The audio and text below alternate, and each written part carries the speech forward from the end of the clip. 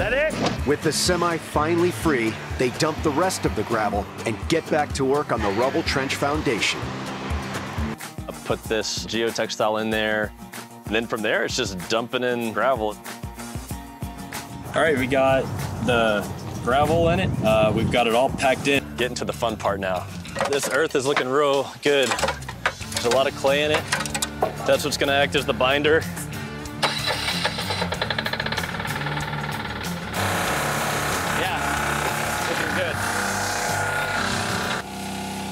So that's the epitome of sustainability right there. All in all, this is going to be about 8,000 compressed earth blocks. Uh, we've got a machine that makes 300 per hour. That's going to take about three weeks to make that many blocks. After making a large supply of compressed earth blocks, Ryan and Melissa get started on laying their first course. The thing about the compressed earth blocks is they're actually really easy. You really can't mess it up. Pretty much anyone can learn how to do it within a, a, just a couple hours. So we're getting by with just our amateur labor force. We're putting about a can full of slurry down, trying to level it out as much as we can, and then we'll put the block down and we'll just make sure that it's level in both directions. To make our what we call our slurry, we have to sift the soil to get all the rocks out of it because it is going in between the blocks, so it's got to be pretty fine. Luckily, we've got several hands on deck today helping us with that. We've got a thousand down and we have about 7,000 to go, so hopefully we just have a smooth day of just making slurry and laying blocks down. You got lots of blocks for me? Yeah, about 160. On the surface, we're just laying blocks, but behind the scenes, we're sifting soil, we're fetching water from the pond.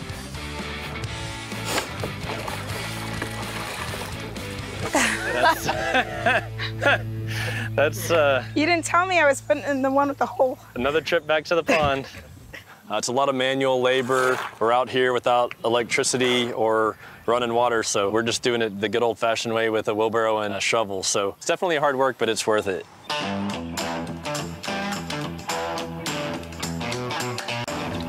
No, it's really great to see the house coming along and the walls going up. We're out here working pretty hard. We're doing all this ourselves, so we're finding we're pretty exhausted at night.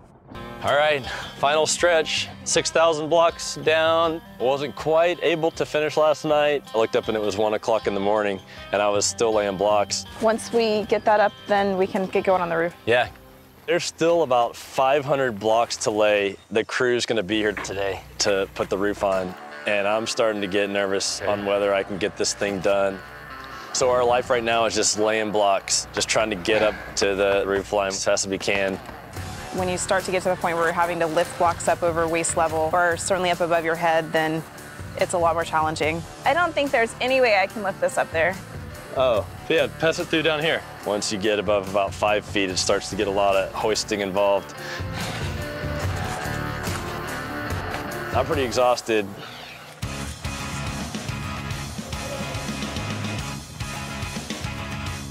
Last block before we can put the roof on. How many blocks? About 6,300. Bang on. Yeah, that looks perfect.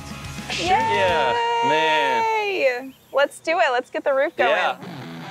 We got our earthen material here, same material we use to, to make our blocks. We got Tim White, who's the expert here in Texas on earthen floors. And Tim's here just using a wooden trowel to put it on nice and flat. This is the base coat. We're not trying to make it perfect. We got to get this base layer down because it's three inches thick and it's going to take two weeks to dry. As you can see, it's just simple as mixing some mud and then just mashing this into place and troweling it down flat. Perfect. They get the three inch base layer of mud troweled onto the entire floor and switch gears into block lane mode one last time. All right. To connect two interior walls for the bathroom, Ryan and Melissa will build a block arch. We got this basic form that we built. They use a wood template to lay the blocks on to form the arch. And they look really cool. It's just another really cool artistic thing you can do with compressed earth blocks.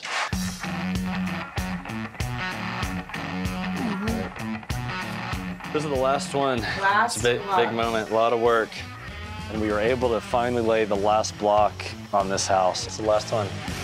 With the walls complete, Melissa and Tim work on a base coat of mud to cover the blocks.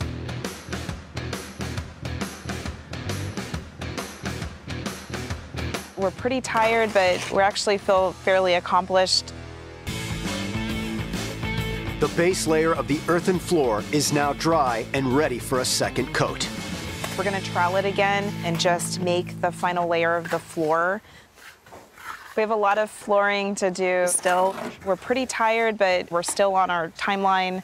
We finished off the floor in the boys' room. It's Oxford, stop! No yummy snacks for you later. Oxford. Oh, goodness.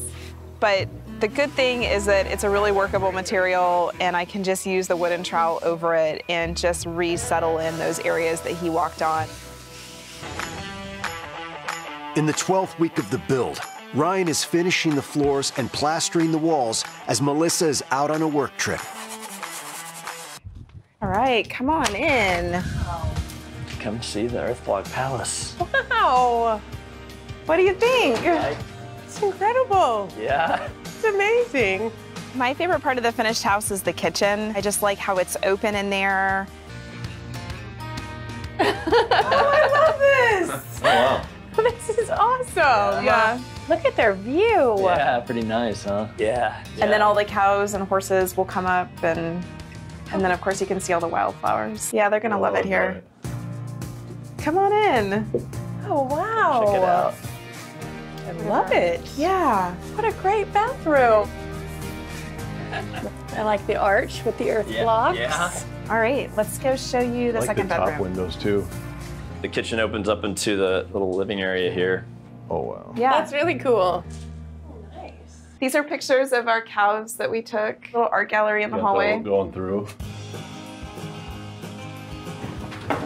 Yes, when you have a fire in here at night and you're sitting out on the porch, you can enjoy it. And then when it's time to go to bed, you can still enjoy the fire from the inside. Oh, nice. We went about a month over schedule. We were supposed to take four months. It ended up taking five months. You love steak that Mama made? The build itself cost 50000 We are right on budget, but uh, this being the first house we built, it looks more beautiful than I could have ever imagined.